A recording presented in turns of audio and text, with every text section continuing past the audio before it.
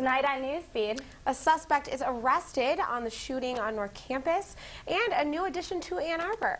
plus the university is relying less on government spending and a controversy over teen driving. All this and more on Ann Arbor's only local newscast, Newsfeed, starts now.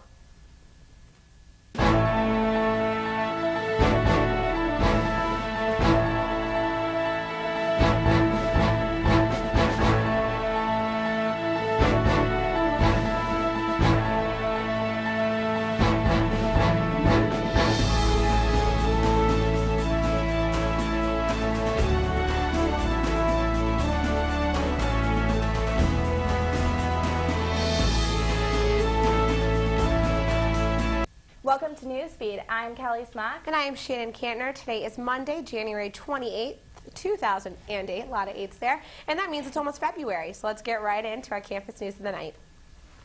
The University of Michigan is relying less on government funding for research these days. The university reported a drop in the federal funding for this year. Also, there has been a decrease in governmental organization support as well. Many believe this money shortage is due to a cut in research budget, budgets for these organizations as well. Researchers do not need to worry, though. The university is now relying on private donors to support the research funds. The University of Michigan is eighth in the nation for endowments, that is. A 2007 study found that the university's rate of return was higher than any other school that ranked in the top 10 list. People have begun to question how such funds are being distributed. Many have questioned why tuition cost has not been decreased in response to the success of endowments. The reason? Universities usually only spend 5% of their investment returns, while the rest is invested to prevent inflation. Also, most donors often ask that their contributions be spent in specific areas. Former university president James Duderstadt said, quote, the state of Michigan needs and deserves a university much better than it is willing to pay for. Hence, the University of Michigan must turn to its alumni and friends to provide support no longer provided by the state. End quote. The search for the student suspected in the fatal shooting on North Campus has ended. Andrew Robert Murick turned himself in to police on January 24th, eight days after the shooting. A visitor to Murick's home on the 1500 block of Jones Drive near Plymouth Road was fatally shot. Murick was arrested for misdemeanor charges of possession of marijuana and an outstanding bench warrant. He was later released on bond. Anyone with information about the shooting should contact the U of M Department of Public Safety.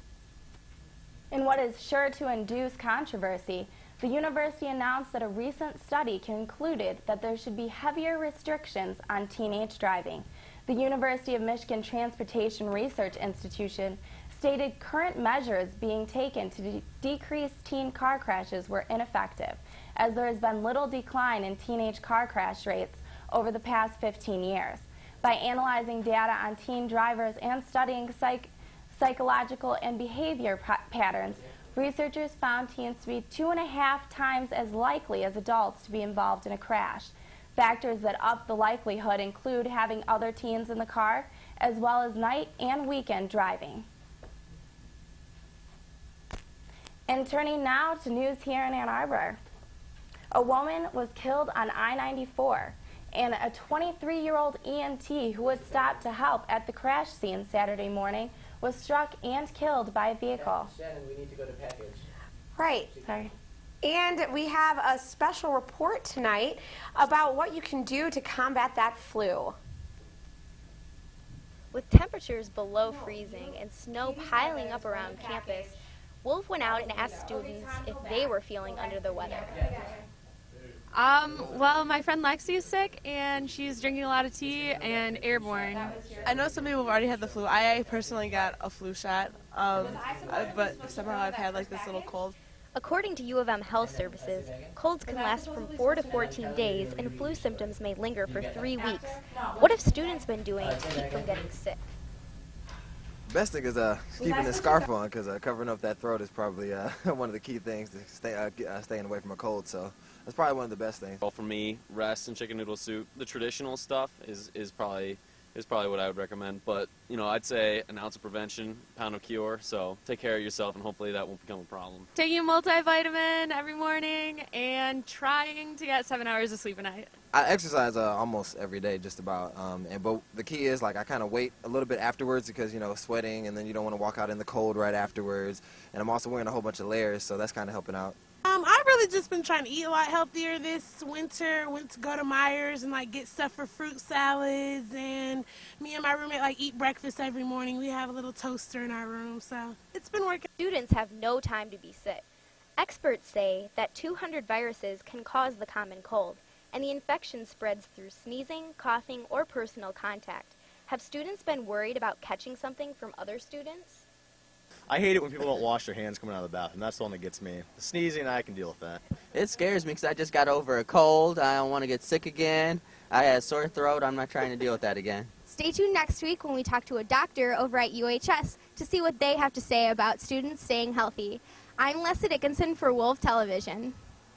Thank you for that report, and we're sorry for the technical difficulties before that. But rather than waiting for your health update until next week, we have a special report from our own Katie Woods, who spoke with a UHS doctor also about the flu. So, Katie, what can you tell us? So, how is it transmitted? How, how does one get the flu? Mm-hmm. Well, first of all, the flu is a virus, and like cold viruses, it can be transmitted by germs on your hands going to your mouth or your nose or your eyes, or it can be transmitted by somebody coughing near you with it. One of the interesting things about flu is that it's very contagious from person to person, and if I had the flu and felt fine right now because I didn't know it, I could give it to you even though I didn't know I was sick, because people are contagious for a day or two before they become aware of feeling ill. Normally, in the United States, flu season begins usually in November, December, or January, February, and we try and get all the flu shots in during October and November because they reduce the chance of getting flu by as much as 70%. But when we're having a flu outbreak, our normal volume per day goes up from maybe 250 visits to up to 350 or 400 in a day. So it's pretty significant. Now, last year we had a very light flu season, and uh, we just saw a, a, small number of flu cases, not many at all. So, is this a concern that students in Ann Arbor local should really be looking into? Well, I think there are a couple reasons to get a flu shot. One is that if you do get influenza, not a common cold but influenza, you're usually out for 10 days. It's a really unpleasant illness for the healthy person where you have muscle aches and severe cough, terrible headache, 102 fever, and you're usually sick for 7 to 10 days. If you have asthma or heart disease or diabetes, then you have a higher chance of ending up in the hospital with a pneumonia, and there's a higher death rate. Uh, most people don't realize, but every flu season, about 35,000 Americans die really? from flu and its complications. And the deaths are more common in the very young and the elderly, and every year we read about some people, sometimes young people, who die from influenza A. Um, but we haven't had any uh, at the university that I'm aware of. For, for people who are ill, uh, washing their hands, covering their cough, uh, are important things that we think can reduce the contagiousness of flu. Let's face it, none of us wants to get that icky bug, but hopefully you learned a little bit of how to keep yourself safe and your family. Reporting for Wolf TV, I'm Katie Woods. Thank you for that report, Katie. And Kelly, I forgot to mention that uh, you might have noticed that was shot earlier in the year and more towards the fall, but certainly still a prevalent issue now that we should all be concerned with. I mean, have you gotten the flu years past or anytime recently? Have any friends? I did. I actually had it over Christmas break. Oh my gosh, that's really unfortunate. At least you're hearing. I mean, I know right. that doctor mentioned at least in the 30,000s of people dying that we just don't realize, so people should really take caution. Uh, now let's turn to your local news here in Ann Arbor. Kelly? A woman was killed on I-94 and a 23-year-old EMT who had stopped to help at the crash scene Saturday morning was struck and killed by a vehicle that police, police said was traveling too fast for the slick road conditions. Cheryl Kiefer of Brooklyn was unconscious during the 25 to 30 minutes it took officials to reach the scene. From the wreckage on eastbound I-94 at Kalmbach Road after the 6 a.m. crash. She was declared dead at the University of Michigan Medical Center at about 8.50 a.m. Although a Washtenaw County Road Commission official said the road had been salted minutes before the crash, police said it was extremely slick when the crash occurred. If you're looking for a downtown hotel in Ann Arbor, you'll have to find another place to stay. On Tuesday night, Ann Arbor City Council rejected plans for a new downtown hotel on Division Street. It was a business dream, but a neighbor's nightmare. A nine-story hotel at the corner of Division and Washington Streets, the hotel construction was a part of McKinley's plans to add some flavor to the downtown area. But the plans fell short after residents stepped forward with concerns of whether the new hotel would overshadow historic buildings. Others Asked whether another downtown hotel was needed, and ultimately the council answered with a 10 to 1 vote rejecting the plan. The best library in America is not in New York or Chicago, but Chelsea, Michigan. That's right, the Chelsea District Library was named the best library in America by the American Library Journal. Along with the honor, the library also received a $15,000 prize. This is the fourth year the award has been given. Chelsea Mayor Pro Tem Jason Lindar called the library, quote, the centerpiece piece of the downtown, end quote. The City of Ann Arbor won an arbitration case that has been going on for eight years. The case is rooted in a disagreement between the city and its largest union and deals with the schedule of the city's payments of wage step increases to 278 union workers. The judgment is estimated to save the city $400,000. The union may appeal this ruling. Now we have Cara in the studio to give you a preview of your update of your weather for the week and to see if you need to keep those umbrellas up. Cara? Thanks, Kelly. Currently outside right now it's 36 degrees. For the most part, it's pretty overcast and there's some light rain going on. We have winds coming out of the south at 15 to 25 miles per hour. Stick around to see if more wet weather is coming in the rest of the week. Back to you, Kelly. Thanks for that weather update and stay tuned because after the break we have the latest update on the President's final State of the Union address.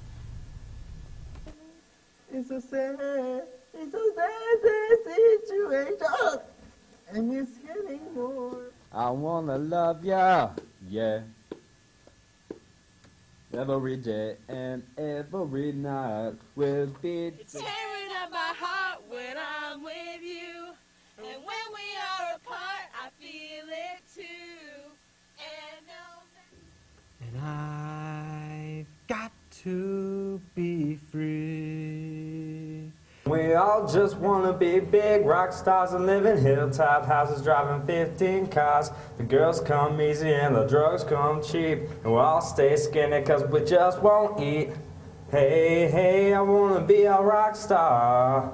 Hey, hey, I wanna be a rock star. Welcome back to Newsfeed. Thanks for staying with us. Turning gears now to your national spotlight. President Bush delivered his last State of the Union address tonight. The president started off by announcing, quote, unprecedented changes over earmarking taxpayer dollars. According to White House spokesman Tony Fratto, Bush is expected to sign an executive order tomorrow, quote, directing agencies to ignore any future earmarks included in report language, but not in the legislation, end quote. Most of Bush's speech addressed issues he has already asked Congress to pass. These issues include an overhaul of federal laws governing electronic surveillance, permanent, permanent extensions of his 2004 and 2003 tax cuts, and free trade agreements with South Korea, Colombia, and Panama. The theme of tonight's address was trust and, and empower. Bush encouraged his fellow Americans to make good decisions and to hold on to their hard earned money. In regard to the war in Iraq, Bush encouraged patience. He did not disclose when more troops would be expected home. Quote, it's going to be difficult choosing, end quote, said Massachusetts Democratic Senator Ted Kennedy back in October. Quote, I've got a lot of friends who want to be president, end quote. In this close ra presidential race, the Democratic candidates have been extremely competitive for Ted Kennedy's endorsement. Besides being a high status liberal political figure, Kennedy would also provide a large national fundraising and political network. But it seems he's finally chosen. In an announcement made today, Kennedy formally announced he will be supporting Illinois Senator Barack Obama in the campaign race. Also supporting Obama is Kennedy's niece Caroline, who told the New York Times that Obama would inspire America, Americans in the same way that her father, President Kennedy, did. Taking a different opinion is former Maryland Lieutenant Governor Kathleen Kennedy Townsend, another of the Senator Kennedy's nieces, who issued a statement Sunday confirming she would support Obama's rival, Hillary Clinton, for president. The longest serving president of the Mormon Church, Gordon B. Hinckley, passed away at 97 years old. He led the church during one of the greatest periods of its expansion. Hinckley was the 15th president of the Church of Latter-day Saints. Fellow Mormon Senator Orrin Hatch said, quote, his life was a true testament of service, and he had an abiding love for others. His wit, wisdom, and exemplary leadership will be missed by not only members of our faith, but by people of all faiths throughout the world, end quote. Hinckley had been diagnosed with diabetes and was hospitalized with a cancerous growth in his intestine in January of 2008. And now we have Kara in the studio with your weather update. Kara, do we need to keep that umbrella out all week? Thanks, Kelly. Like I said earlier, currently outside right now we have 36 degrees. The skies are slightly overcast and we're experiencing some light rain. We have winds coming out of the south at 15 to 25, 15 to 25 miles per hour, and we have around 79% humidity. Taking a look at what we saw today, we can see that the high for today was 41 degrees and we had a low of 15 degrees. Now this is right around the normal temperatures expected for this time of year, which are 31 and 17 degrees. The records was set in 2002 with a record high of 57 degrees and a record low was set in 1977 at negative 8 degrees. Now, taking a look at what's going across the United States, we can see that there's a lot of low pressure systems moving around the western half of the United States, bringing some snow systems to the Rockies and up into Washington and Oregon. And then over in the eastern half of the United States, we can see that there's a huge band of rain just coming across um, Milwaukee and Wisconsin and into the Great Lakes area. And then taking a look closer to the Great Lakes area, we can see that most of the eastern half of Michigan is covered by rain right now. Now, as you saw earlier, this rain that is in Wisconsin and Minnesota is probably going to push through through the rest of the evening to the east. So we'll be having rain throughout the rest of the evening and probably into the early morning of tomorrow. So for tonight, the forecast is 35 degrees, and we'll be having some light rain in the area and winds coming from the south at 15 to 25 miles per hour. Uh, for tomorrow, we should see temperatures in the upper 40s, uh, excuse me, in the lower 40s, uh, with some light rain showers throughout the day. And we'll also have winds coming from the south again at 10 to 20 miles per hour. And then taking a look at the rest of the week, we can see that on Tuesday we're going to have a high of 41 and a low of 19 with some snow showers. On Wednesday, we're going to have a high of 19 and a low of 16 with some flurries. On Thursday, we're going to have a high of 28 and a low of 24 degrees, and it's going to be mostly cloudy for today. On Thursday, we're going to have a high of 32 degrees with a low of 23 degrees, and we're going to have a rain snow mix for that day. And on Friday, we should have a high, oh, excuse me, on Saturday, we should have a high of 31 degrees and a low of 21 degrees, and it should be partly cloudy. That's all the weather for now. Back to you, Shannon. Well, at least Kara is telling us that we're getting into the double digits. That's nice. Mm -hmm. I mean, opposed to last week's singles. I don't even know how, how to handle that. I know, the wind chill was horrible too. I know, I felt like I couldn't really feel my face on the way to class. like instant frostbite, you know, when you walk outside, it's the worst feeling in the world. I was, I mean, the rain was nearly kind of refreshing opposed to, you know, piles of snow. Right. People sometimes like the snow though. Or my rosy cheeks that. The rosy cheeks, I know, it's an epidemic around campus in Michigan when, when you get this weather. Okay, uh, we'll be back in just a moment with your sports and entertainment news, so stay tuned. Houston, we have a problem. What? I missed Grey's Anatomy last week, and now I'm going to be so behind. Um, still missing the problem here. What do you mean? We're talking about Grey's here, the most watched television show. Okay, well, I get that, but what I don't get is why you don't just watch the Entertainment Buzz on Wolf TV. They have recaps of all of today's most popular television shows, plus you can get previews of upcoming movies and find out what's hot in Hollywood. I mean, there's no reason not to watch. That show's the coolest. They interviewed The Rock on that show. That's awesome. I want to go catch the spit. Man, guys, I wonder who this week's short shot's gonna be.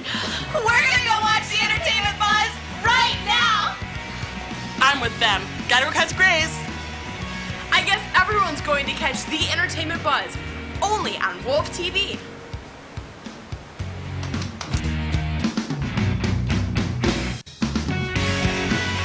Welcome back to Newsfeed. Now we have Lauren Smith in the studio with us tonight to tell you all about the latest on our Wolverines. Lauren? Thanks, Shannon and Kelly. And now for your Michigan sports. The men's basketball team suffered a 77 62 loss at Michigan State this Sunday. The team got off to a slow start as Michigan missed its first seven shots and two free throws. Good three-point shooting kept the Wolverines alive in the first half, but poor shot selection kept Michigan trailing by double digits all through the second. The Michigan men's basketball team is still looking for its first win in East Lansing since 1997. In further news about men's basketball team, they will be joined by the University of Michigan Athletic Department in celebrating the 40th anniversary of Chrysler Arena this Thursday. The Wolverines are scheduled to take on Minnesota at 7 p.m. As part of the celebration, the university will welcome back U of M legends Cazzie Russell and Rudy Tomjanovich and members of the 1967-68 basketball team. Exciting news for Wolverine baseball fans. U of M's baseball team will begin the 2008 season ranked 8th in the country by the ba Baseball American poll released last week. This is an 11-spot jump from their number 19 slot kicking off the 2007 season. Michigan is the only team representing the Big Ten in the top 25 rankings. Tournaments coming up include the Coca Cola Classic Tournament in Arizona against the number 9 ranked Arizona State on February 28th and March 1st before taking on number 24 ranked East Carolina in the Keith LeClair Tournament on Saturday, March 8th. And lastly, an exciting weekend for Maize Blues women's gymnastics team, ranked number six. U of M piled the highest score since the 2006 season, ranked, falling, ranked, sorry, freshman Carly Batterman kicked off the meet, scoring a near perfect 9.925 on vault, and Kelsey Knutson met that score later on the night with another 9.925 on the balance beam. Both earned their first collegiate individual event titles. The Wolverines dominated the floor events, taking taking place on five of the top six spots. The women's gymnastics team heads to Ypsilanti for the State of Michigan Classic this Saturday. The event will also be featuring MSU as well as teams from Eastern, Central, and Western Michigan. and that concludes our sports news. Back to you, Shannon and Kelly. Thanks, Lauren. And stay tuned because coming up after the break, we have your latest entertainment news with Chelsea Fuchs. So stay tuned.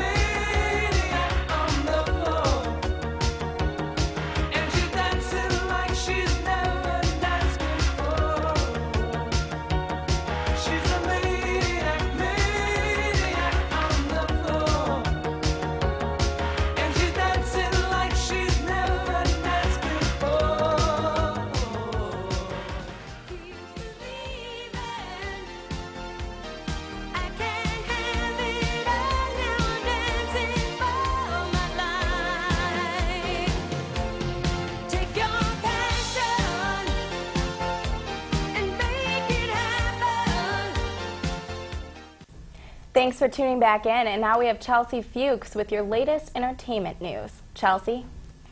Thanks, Shannon and Kelly. Hi, everyone. I'm Chelsea Fuchs here with your latest entertainment news and celebrity gossip. Our thoughts go out to the family and friends of actor Heath Ledger. The 28-year-old Brokeback Mountain star and father of two-year-old Matilda was found dead by his massage therapist in his Manhattan apartment on Tuesday. The cause of his death is still being determined, but authorities believe an accidental overdose of prescription sleeping pills might have been the cause. A private memorial service was held for the actor in Los Angeles. Among those in attendance were Ledger's ex-girlfriend Naomi Watts. It is still unclear whether or not ex-fiancee and mother of Ledger's daughter, Michelle Williams, was there. Williams and Matilda will, will join the Ledger family for funeral services. Ledger is expected to be buried in his hometown of Perth, Australia. The 2008 Sundance Film Festival is underway, but sales are slower than usual. Even famed director Robert Redford's indie films have been struggling. Focus Features purchased the rights to his film Hamlet 2, starring British comic Steve Coogan, for 10 million. But other than that, sales have been lacking. Heath Ledger's unexpected death and the ongoing writer's strike could be factors in the disappointment of this year's film festival. But make sure you look out for the pictures that were picked up by film execs. They include Clark Gregg's comedy drama, drama Choke, the dramedy Henry Poole starring Luke Wilson and Radha Mitchell, and Frozen River by newcomer Courtney Hunt. Some indies are also expected to be picked up, and many documentaries are close to sealing deals with Tinseltown execs.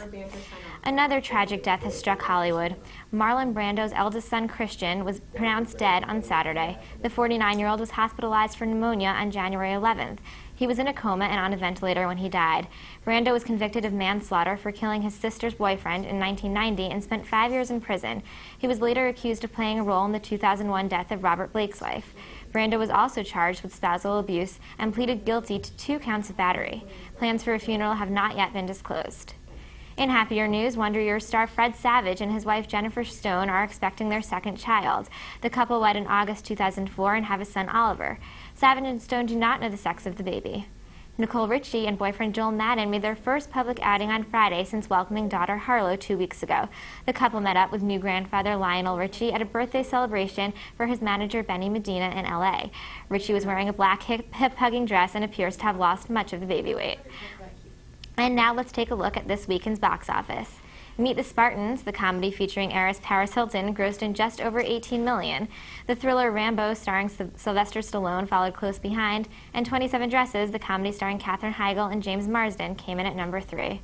That's all the entertainment news I have for you tonight. Make sure to tune in next week for more Hollywood gossip. Back to you, Shannon and Kelly. Thanks, Chelsea, for that report. You know, I think this whole Heath Ledger thing is just really sad. I mean, know. a, he a wonderful actor, depressing. good-looking man, family man. I mean, he had it really all going for him, and so young too. 28 years old. I know. I know. Um, it was horrible. He, well, okay. I, I think we'll have a little bit more discussion after we take a short break right now. So please stay tuned.